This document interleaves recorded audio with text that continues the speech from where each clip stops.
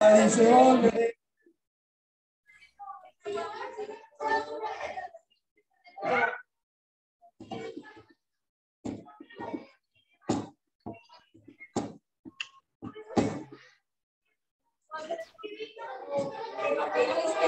No, papi, con los West Ham, ¿no?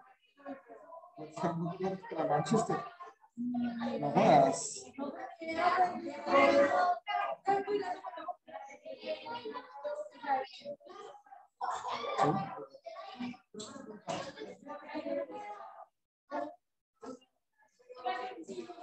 No, hey, no me dejan oír.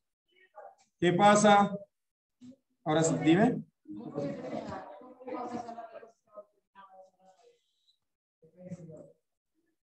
¿En dónde están los peces y los huevos?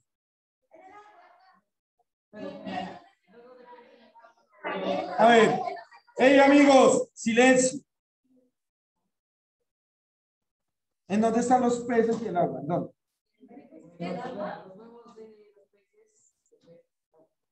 Sí. ¿Y es un qué? Es un ecosistema, papu. A ver, atentos. Que nos pongamos a hablar de partenogénesis, por ejemplo, para explicarles cómo es la división y la aparición de nuevas especies.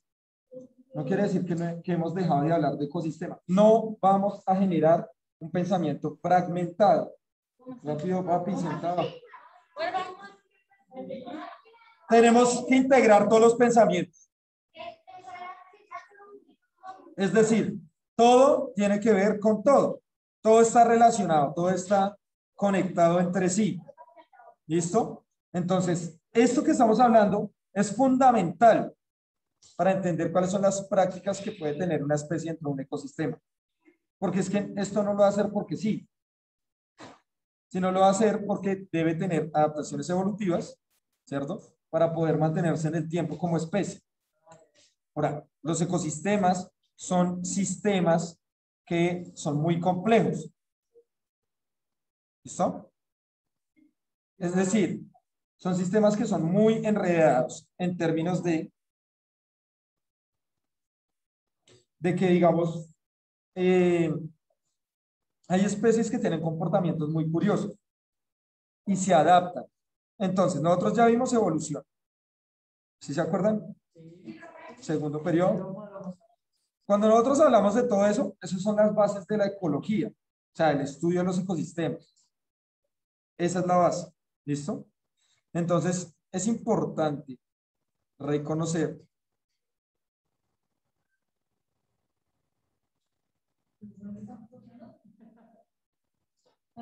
¿Todo bien? ¿Qué le pasó a Ismael? No. Nada. Nada.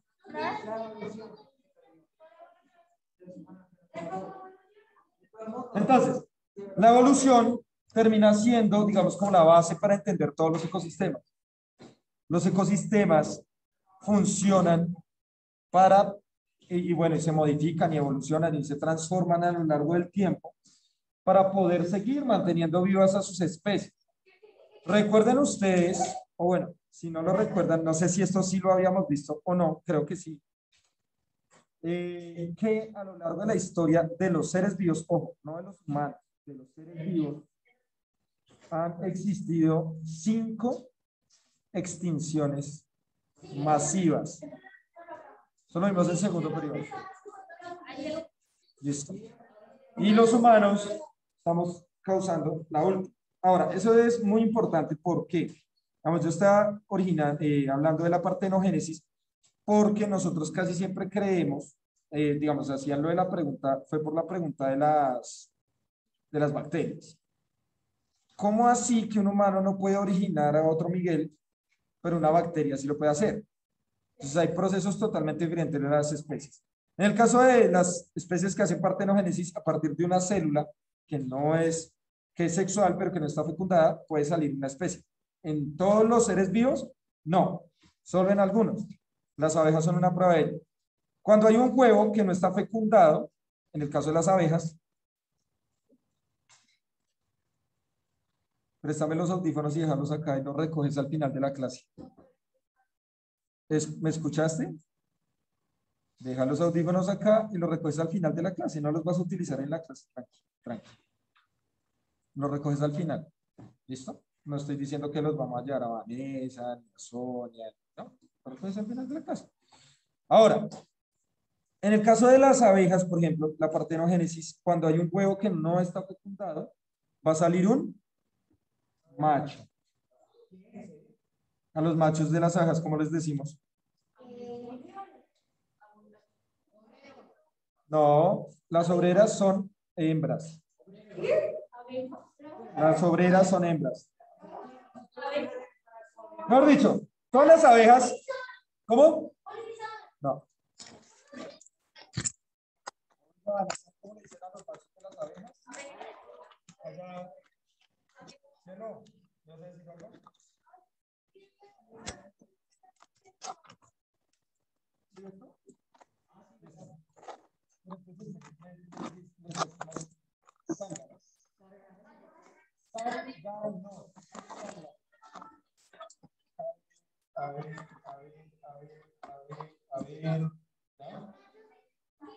Ahora, ¿por qué le dicen zángaros? Porque la única función de los machos es reproducirse. Si nosotros hablamos de que consigue el néctar y todo eso, eso no lo hace un macho, eso lo hacen las obreras.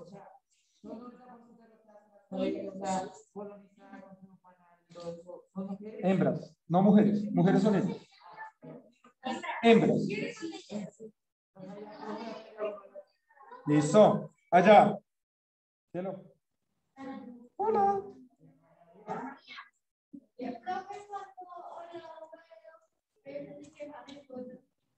Entonces, cuando entonces, no, no, no, tiene que ser de la misma especie. ¿Sí? Tiene que ser de la misma especie. Digamos, si pasa otro pez de otra especie, pues no va a pasar nada porque no van a ser compatibles. ¿Mm? Es como nosotros. Nosotros, así que éramos, no podemos tener hijos con otra especie. O sea, un humano y un chimpancé, un humano y un perro. Uno, no se puede. A ver,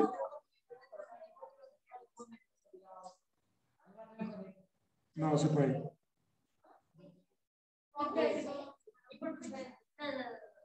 No se puede.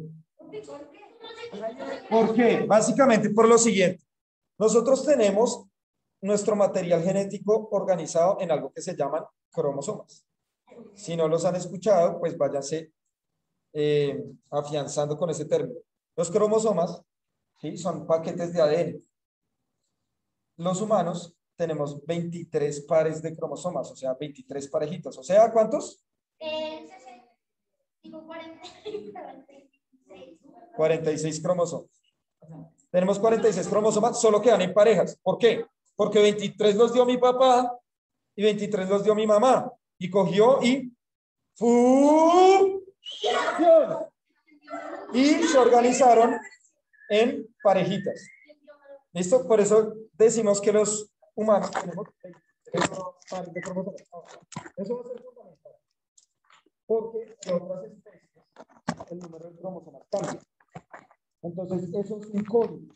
Eso es un código genético, se llama.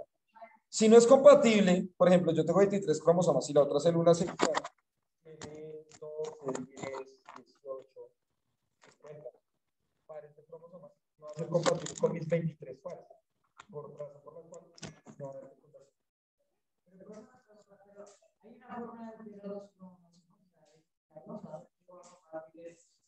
eh, lo que se hace actualmente es algo que se llama la genética molecular y es coger fragmentos de ADN de una especie y se introducen en otra. ¿Sí? Eso se llama, eso se llaman, eso se llaman trans, transgénicos. No transgéneros, no. Se llama transgénesis o transgénicos, productos transgénicos. Es decir, claro, es que lo que pasa es que los híbridos, digamos, ¿cuál es el híbrido más, más reconocido? No. Hay un híbrido mezclado, por ejemplo, que es la mula. ¿Qué es la mula?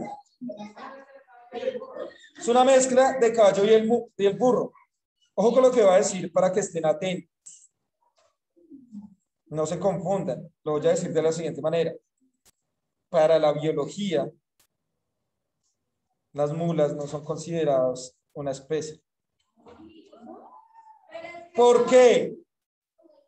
Porque la mula tiene un problema. ¿Cuál es el principal problema? Bueno, sí, duran poco, pero, pero las mulas no pueden tener crías. No pueden. Papi, no se les desarrolla el órgano sexual, imagínense.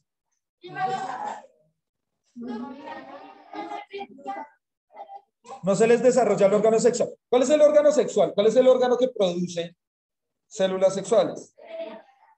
¿Cuál? El pene no hace células sexuales. Los testículos. Y puede tener pene. Seguramente las mulas tienen el pene. Bien. La cuestión es que sus testículos no producen.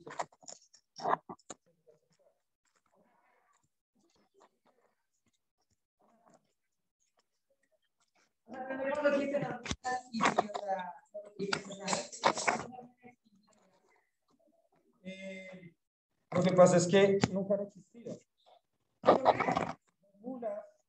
Desde cuando empezaron, entre comillas, a existir. Cuando un humano dijo, hey, vamos a cruzar un caballo con un burro. ¿Sí? Antes no existían. Ahora, si muriera el humano hoy, toda la especie humana hoy se extinguiera, hoy no van a existir más mulas. Claro, es el humano el que hizo que se creara. A ver, a ver, a ver. Eh, por eso son híbridos.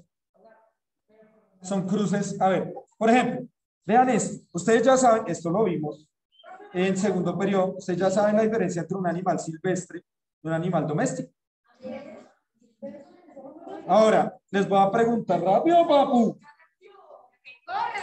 Ahora, les voy a preguntar ahorita la diferencia entre animal doméstico y silvestre para ver si, si se acuerdan. A ver, acá me escriben algo. Polinizadores, dice Santi. A ver. Y después allá. Silencio que no me dejan oír, por favor.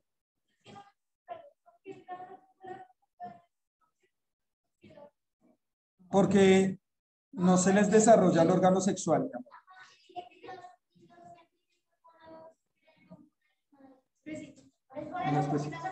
No se puede reproducir porque no se les desarrolla los órganos sexuales. El otro son ovarios. Si es hembra, ovarios. ¿Listo? Allá y después allá. Pero te di un número para que seguían levantando la mano. Eres el 2 y tú eres el 3.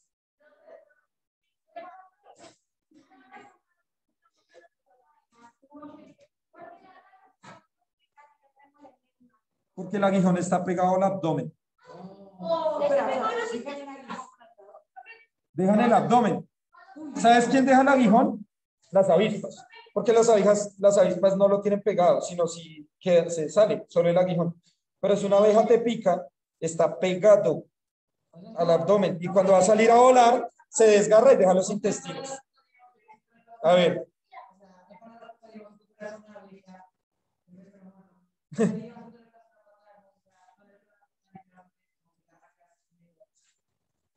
Eh, sí, se desgarra todo esto.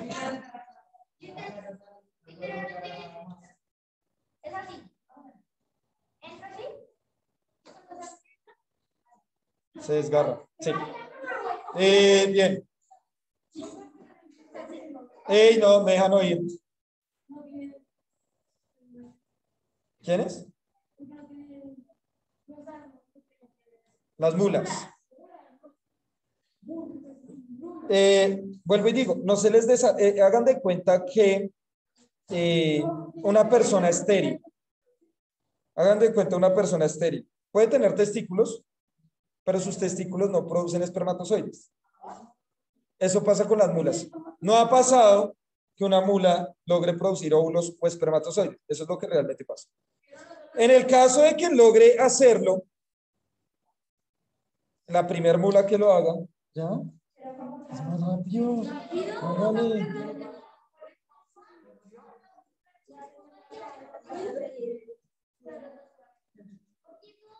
Ya.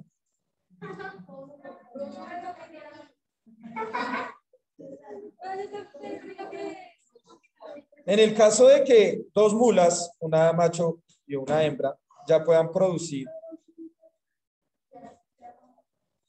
células sexuales, ahí ya estamos hablando de una nueva especie. A ver.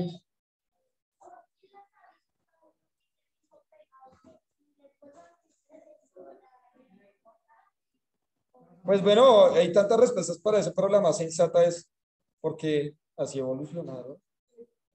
O sea, las abejas evolutivamente tienen pegado su... ¿Ah? No, son grupos totalmente diferentes. La evolución no es lineal, ojo. La evolución no es lineal. O sea, no es que, ay, ahora pasó esto y nosotros venimos de los micos. Nosotros no venimos de los micos. Nosotros venimos de una especie que ya no existe, que se llama el Australopithecus. Somos. Tú ahí, sentado, eres un Homo sapiens. Tú. Nosotros somos Homo sapiens. Australopithecus. Esos son nuestros antepasados. Y ellos ya no existen. ¿Cómo? ¿Mm? El chimpancé. Listo, Valentina, gracias. No, a ver, no hay ninguna especie más evolucionada que otra, ¿listo? Esto para ahorita, para ecología, va a ser muy importante que lo entendamos. Porque el humano cree que es la especie más evolucionada. Pero no hay ninguna especie más evolucionada que otra, ni una especie superior que otra. ¿No? Exactamente. Pero, por ejemplo, si yo digo, ¿quién es más evolucionado? ¿El pasto que está allá o yo? ¿Por qué? No. Exactamente. Estamos igualmente evolucionados. Ahora, ¿por qué? Porque si bien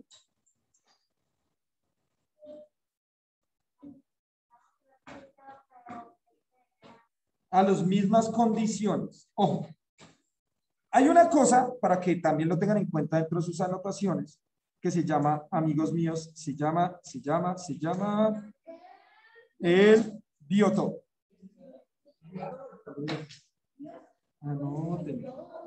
Bio, a ver, escuchen, porque por andar hablando me toca repetir 50 veces, amores.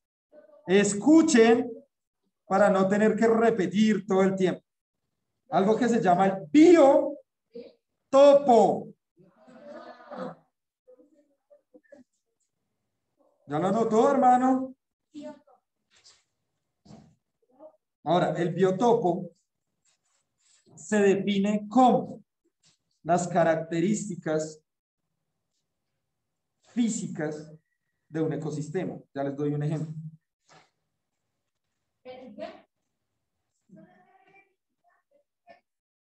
Biotopo.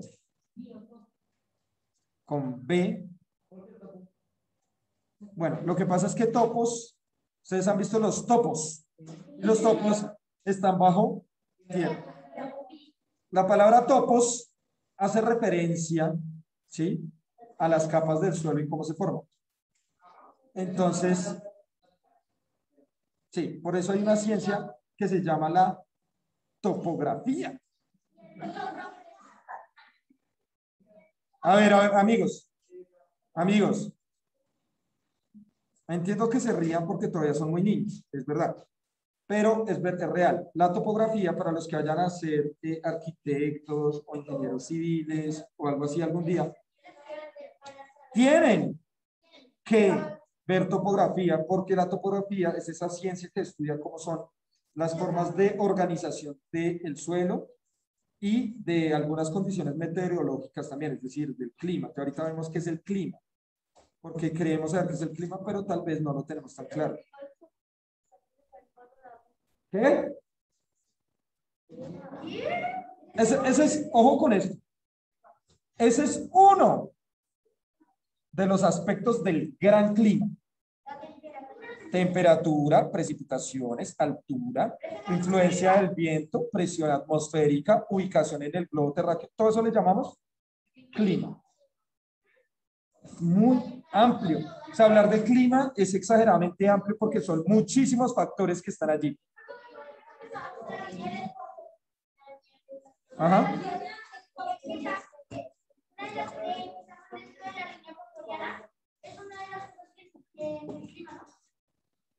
Eh, claro, hace que nosotros tengamos un clima específico.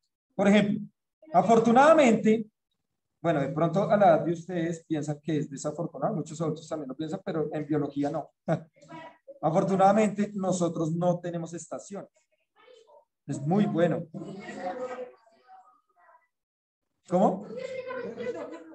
¿Por qué qué? No entiendo. No, es que no escucho. ¿Por qué qué? No. Afortunadamente, tenemos, no tenemos, perdón, afortunadamente no tenemos estaciones.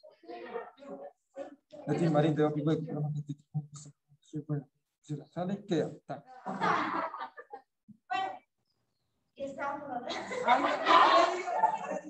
Baila, perdió su turno.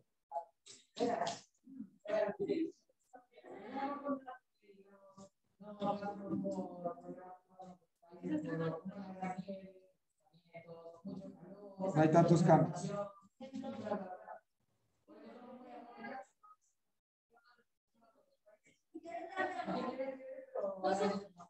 Claro, para nosotros, entre comillas, nos parecería muy chévere. ¿Pero por qué? Porque nosotros en películas, en medios de comunicación, etcétera, no lo han vendido. No lo han vendido como, oh, es supremamente divertido. ¿Qué más tiene? Ja, ja, ja. Pero bueno, si no vivieran países con estaciones, realmente no nos parecería tan divertido. ¿Por qué? Porque tienes que durar tres meses en invierno con un frío por debajo. ¿Tres meses? Sí, de los 10 grados centígrados. De 10 grados centígrados. Puede bajar hasta 50 grados, depende. Depende. ¿sí? Donde el clima es supremamente oscuro. O sea, la luz, la incidencia de la luz hace que eh, sea mínima porque cuando se da el invierno es porque ese polo, ¿sí? bien sea el polo norte o el polo sur, en los dos hemisferios hay estaciones, también en Argentina hay estaciones, ¿sí? en Chile hay estaciones, en una parte de Brasil hay estaciones. Eh, en esos lugares donde hay estaciones, es porque cuando hay invierno es porque esa puntica se alejó de la cara del sol. Cuando está en verano es que está muy frontal a la cara del sol. ¿sí? Entonces son tres meses de un verano intenso, tres meses de un invierno intenso.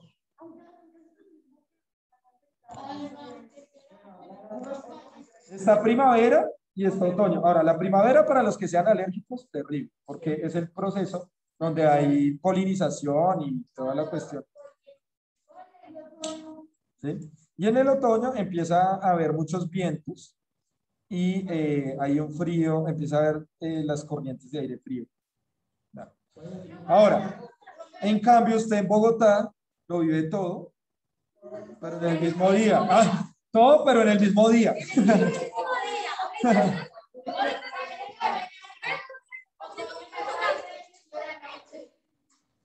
Así es nuestra querida y amada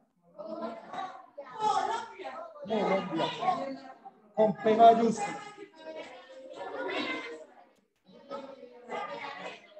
A ver, escuchamos, amigos, amigos.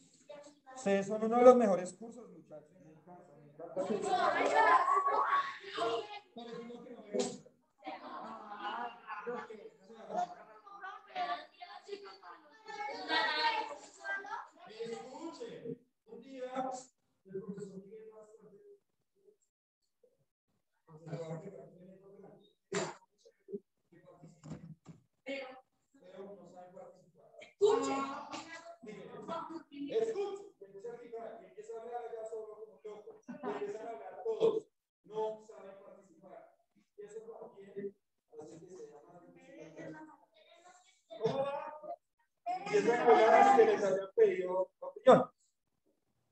¿Se me entiende?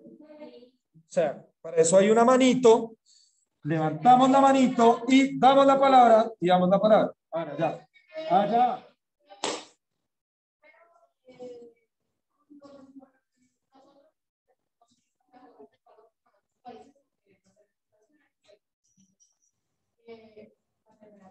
Ajá. Eh, bien.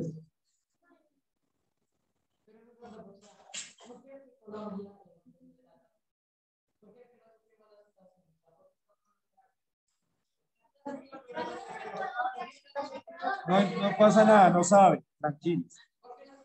No opinen. Sí.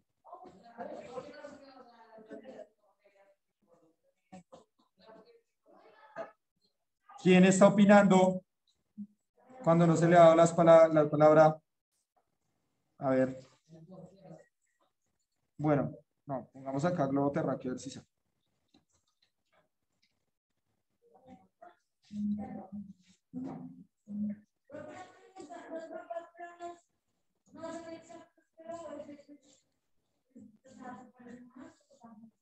Pues lo ideal es usar estos, ¿no? Los mapamundis, porque nos dan una relación de circularidad como realmente es, ¿sí? Ahora, mira esto. Esta es la denominada línea del Ecuador, ¿sí? La, sí, la negra de la mitad es la línea del Ecuador. En esta zona, si contamos dos cuadritos hacia arriba, ah, bueno, acá está la línea punteada. Cha, cha, cha, Punteada. Acá hay una línea punteada. Esta parte la vamos a llamar la zona tórrea, ¿sí? O, o sea, todo lo que está acá en la línea del Ecuador. Todos esos países que estamos allí, no tenemos estaciones. ¿Por qué? Porque a lo largo de la rotación y la traslación, si bien el planeta gira y por eso tiene estaciones, nosotros siempre estamos en la mitad. ¿Qué quiere decir eso? Que todo el año nos va llegando más o menos la misma cantidad de radiación solar. Exacto. Acá hay estaciones, acá arriba. Y acá abajo también hay estaciones. Lo acabo de decir. No, neutros no sé, pero, neutros no sé, pero, sí.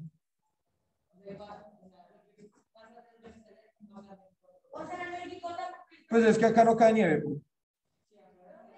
No. Ahora, esa es la razón. Pues,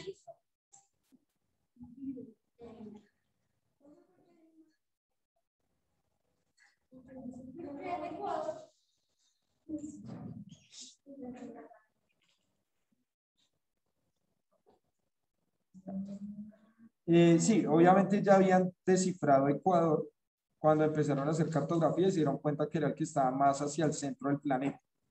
Por eso le pusieron la línea del Ecuador.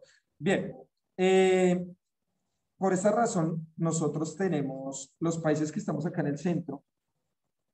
Somos los países que tenemos la mayor biodiversidad, no los países que están en los extremos. No, somos los que estamos en el centro del planeta, los que tenemos una biodiversidad monstruosa, o sea, pero exageradamente monstruosa.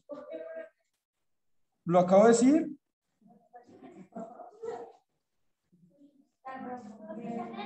Lo acabo de decir, porque todo el año tenemos las mismas condiciones climáticas. O bueno, no las mismas, son muy parecidas. Acá no hay estaciones.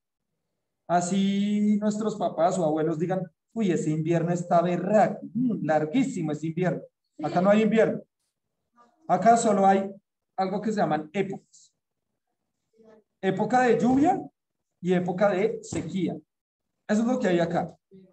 O sea, eso no quiere decir que en la época de sequía no llueva, sí llueve, pero en menos cantidad. Ahora, obviamente, como nos hemos dado cuenta, eh, el cambio climático pues ya es una realidad y nosotros tenemos días, dos, tres, que es de mucho sol y dos, tres, que son de mucha lluvia y así. Entonces está muy alterado. ¿Por qué? Porque se han fragmentado mucho los ecosistemas. Si se cambian los ecosistemas, se cambia la composición de, también de los gases del planeta y por eso hay cambios climáticos. ¿Listo?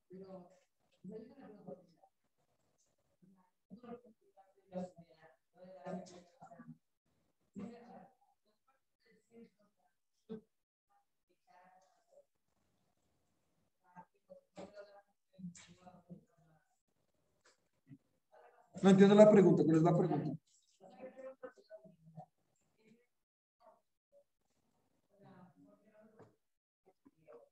Neutro no.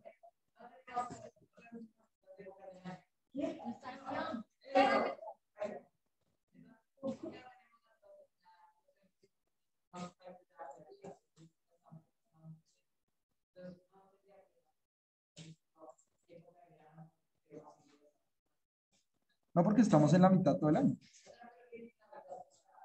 Pues que no gira. Es decir, el planeta, mira que el planeta tiene esta inclinación realmente. Respecto a la órbita del Sol, tiene esta inclinación. Va de lado, girando así. Ahora, llega un punto donde este punto se invierte y queda así. Cuando, cuando está así, digamos, por ejemplo, si el Sol está acá, ¿sí?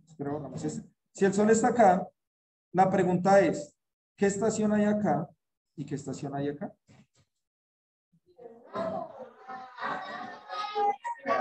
A ver, esperen, escuchen. Si está acá, ¿qué estación hay? Verán. ¿Y esta que está alejado? Pero la luz, todo el año, así gira el planeta, ya después va a girar hacia allá. Y entonces el Sol va a estar acá y acá va a ser verano y en el otro lado va a ser invierno. Ahora, la luz del sol constantemente va a estar golpeando este sitio durante todo el año. Así gira el planeta, así. Quiere decir que está allí dando la misma radiación, casi no igual, obviamente tiene cambios, pero prácticamente es la misma. Por eso es que nosotros no tenemos estación. ¿Estamos?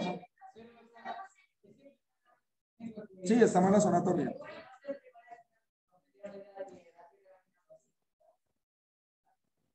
Bueno, pues les enseñaron mal, muchachos, qué pena. No, no, pasa nada. O de pronto sí se los enseñó, pero como a ustedes se les olvida todo. Bien. Eh, va, uno, dos, tres, cuatro. Eh, profe. Tres. A, a, nosotros nos conviene mucho que no tenemos estaciones del año. ¿Por qué? Porque, o sea, nosotros no tenemos que pasar el mismo día siempre en invierno caluroso. Verano, verano. O sea, no ¿Qué pasa? porque reímos? No tenemos que pasar el mismo día caluroso por tres, por tres meses. Se cambió que aquí en Bogotá, en Bogotá o sea, en Colombia comenzamos en la línea ecuatoriana. Entonces, solo el día no puede variar. Por ejemplo, en la mañana de pronto estaba haciendo sol, no sé. Y ahorita está nublado. Y otro día, pues, puede hacer mucho sol y, pues por la noche llueve y así. Entonces no nos. Claro, eh, digamos que ahorita estos cambios no son tan buenos. Lo que pasa es que, pues, que se mantengan condiciones estables durante todo un año. Eso sí es muy bueno, porque las especies pueden adaptarse a muchas mejores condiciones y mucho más especializadas. En cambio, en países con estaciones, los animales tienen que hacer procesos mucho más extremos como invernar, por ejemplo, o migrar. Son procesos que gastan mucha energía. Entonces, miren, los aves tienen que migrar. ¿Sí? Muchas de las aves que migran, eh, digamos que se quedan en países latinoamericanos que no tienen estación, porque son condiciones estables todo el año. ¿Listo? Dos.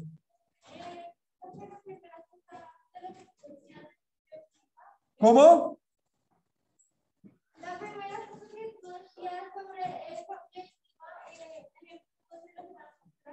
porque por ejemplo los primeros días estaba lloviendo y por ahí que todo el mundo los quemaba. La segunda cosa era que cuando a Estados Unidos de la Roma, cuando el campo también se veía como la parte de Estados Unidos no tener funciones. Y la tercera, cuando volvíamos el mapa, o sea, cuando creaban la parte de Asia, todo eso, también se da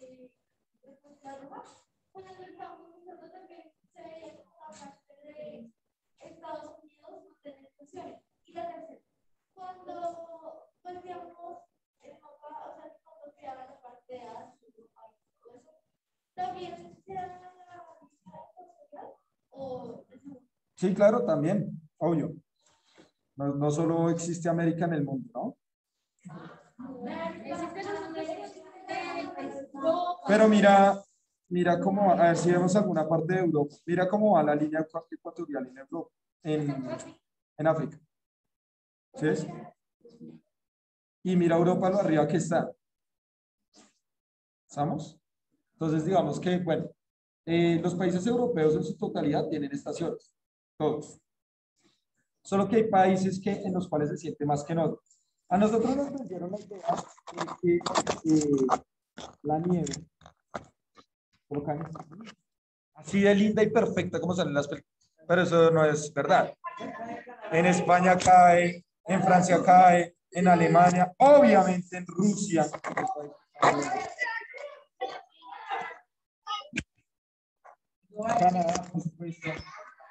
En Japón.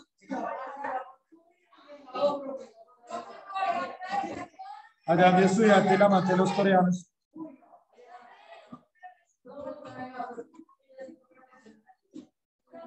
A ver. Dime. Ah, no, pero esperen. ¿Quién seguía?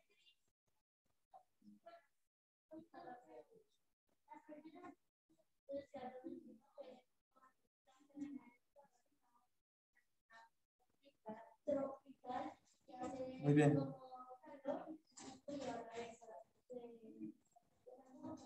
Sí, claro. Digamos, nosotros tenemos una ventaja también incluso en decir, quiero tierra fría, todo el año la tenemos.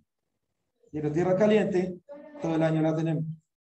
A los países que tienen estaciones para tener tierra caliente, les toca esperar, bueno, a menos que haya algunas excepciones, pero les toca esperar a que llegue la estación para que puedan tener eso.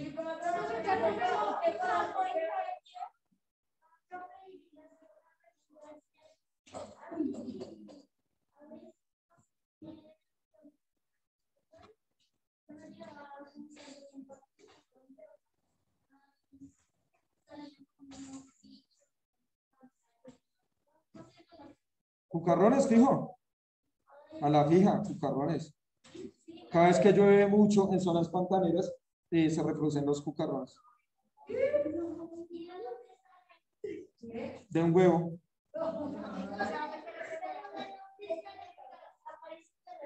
No, de repente no. Lo que pasa es que ellos se meten en, la tierra y empiezan a, a, excavar hasta que ya se llena mucho de agua y tienen que salir volando. ¿Los huevos qué? Pues digamos que si, se, si, se, si quedan totalmente cubiertos con agua, se ahogan y mueren. Sí, claro.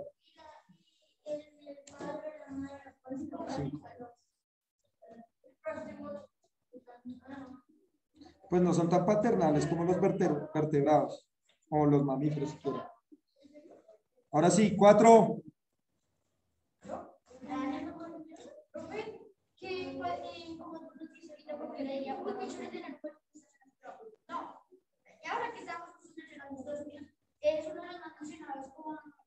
¿Qué pasó, Isma?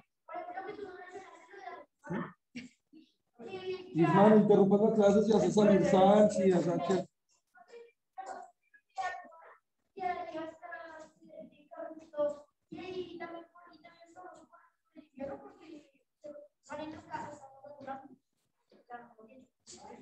Digamos que sí, suele ser muy caliente, ¿no? Eh, igual que hay lugares que son exageradamente fríos también